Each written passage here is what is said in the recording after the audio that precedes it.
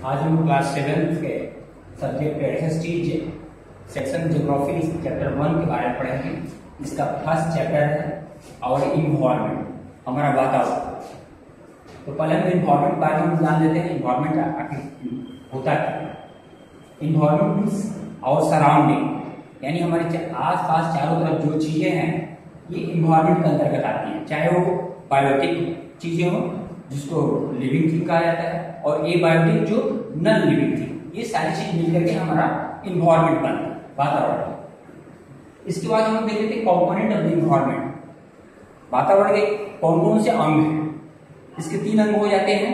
Component हो जाते हैं पहला नेचुरल इन्वायरमेंट दूसरा हो जाता है ह्यूमन मेड इन्वायरमेंट और तीसरा आता है ह्यूमन कंपोनेंट तो पहला हम कहते हैं नेचुरल कंपोनेंट उसको बोलते हैं जो प्रकृति के द्वारा बनाया गया जिसमें आदमी कोई हस्तक्षेप नहीं है बिना आदमी के सहयोग से मैंने प्रकृति के द्वारा बनाया गया पूरी तरह से। इसको नेचुरल कंपोनेंट बोलते हैं, जैसे हो गया लैंड हो गया एयर हो गया, ये गॉड गिफ्टेड है या प्रकृति के द्वारा बनाया उसका अभी कोई इसमें सहयोग नहीं है।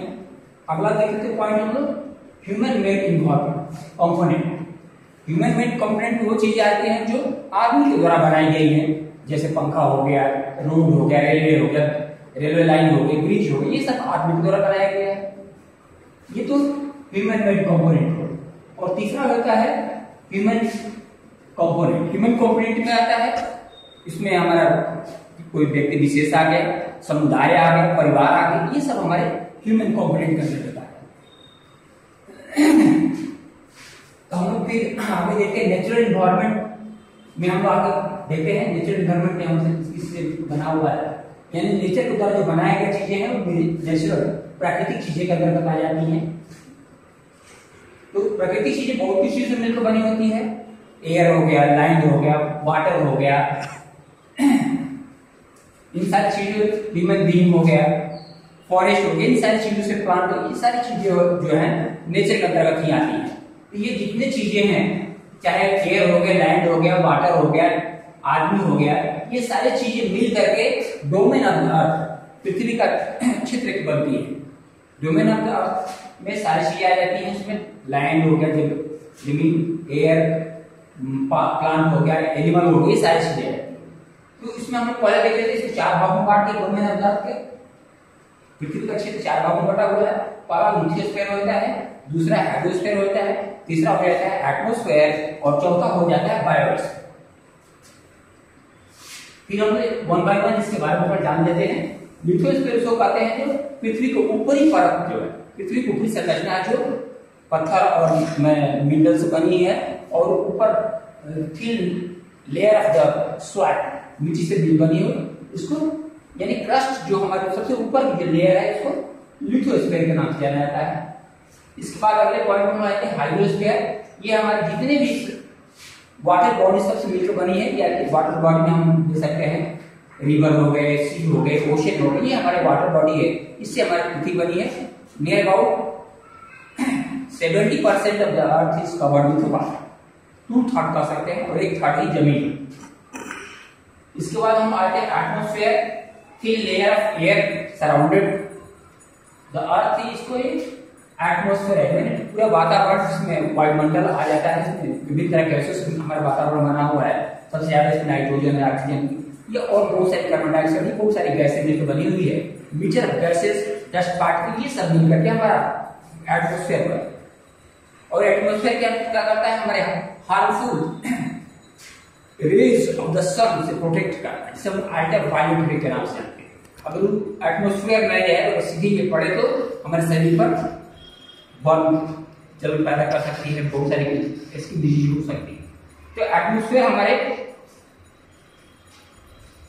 सोलर रेडिएशन से हमको बचाता है। जैसे ultra violet gas solar radiation हम दे सकते हैं। इसके बाद अगले पॉइंट में आ जाते हैं लोग बायोस्फीयर बायोस्फीयर उसको कहते हैं जहाँ पर एटमोस्फेयर हाइड्रोस्फीयर और लिथोस्फीयर जहाँ मिलता है, इस इसी से मिलकर हमारा बायोस्फीयर बनता है। बहुत ही छोटा क्षेत्र है जो एयर वाटर लैंड से मिलकर के तीनों के इंटरेक्शन से हमारा बायोस्फीयर बनता है, जहाँ पर जीव जंतु जो भी सजीव हैं, ये सारे लोग रहते हैं। तो बायोस्फीयर ही हमारा होता है। मेन एलिमेंट तो बायोस्फीयर हम देख लेते हैं। इसमें कंज्यूमर और प्रोड्यूसर आ जाते हैं। प्रोड्यूसर जो चीज़ तैयार कर रहे हैं प्लांट हो गए बहुत सारे फल हो गए पेड़ पौधे फल तैयार करते हैं। कंज्यूमर उसमें आ जाते हैं, जो उपभोक्ता है। आदमी हो गया जानवर हो गया सारे कंज्यूमर में अगले पॉइंट हम लोग आ जाते हैं इकोसिस्टम में। इकोसिस्टम हम लोग क्या होता है? इकोसिस्टम हमारा ये लिविंग और नॉन लिविंग इंटरेक्शन से हमारा बनता है। जो सजीव और निर्जीव जो भी है बायोटिक और बायोटिक ये सारी चीज़ें मिल करके हमारा इकोसिस्टम बनता है। इकोसिस्टम छोटा भी हो सकता है, बड़ा भी हो सकता है। ऐसा एग्ज़ाम्पल हम पॉन्ड तालाब का इकोसिस्टम ले सकते हैं। बहुत सारी चीज़ें रहती हैं माइक्रो से लेकर के। छोटे बड़े सारे चीज़ करते हैं, उससे हमारा पॉन्ड्स का इकोसिस्टम बनता है। तो इकोसिस्टम बैलेंस कब रहेगा? जब हम ट्रांसफ़र ऑफ़ एनर्जी और मैटर जो होगा, समान रूप से उसका हस्तांतरण होगा। ऐसा नहीं कि कहीं पर ज़्यादा उपयोग कर लिया, कहीं कम है तो इनबैलेंस पैदा हो सकता है, असंतुलन पैदा हो सकता है। इसलिए इकोलॉजिकल बैलेंस बनाए रखने के लिए कम से कम ट्रांसफ़र ऑफ़ एनर्जी जो है एनर्जी और मैटर का भी संतुलन बना रहना ज़रूरी है। इसी से हमारा वर्ल्ड दुनिया सही से चल सकती जहाँ इम्बैलेंस होता है तो बहुत सारी समस्याएँ फिर आगे हम लोग देख लेते हैं ह्यूमन इन्वायरमेंट हम आ जाते हैं। ह्यूमन इन्वायरमेंट उसको कहते हैं, जहाँ पर सारे जीव जंतु पेड़ पौधे रहते हैं, जहाँ इनसे मिलकर हमारा ह्यूमन इन्वायरमेंट बनता है।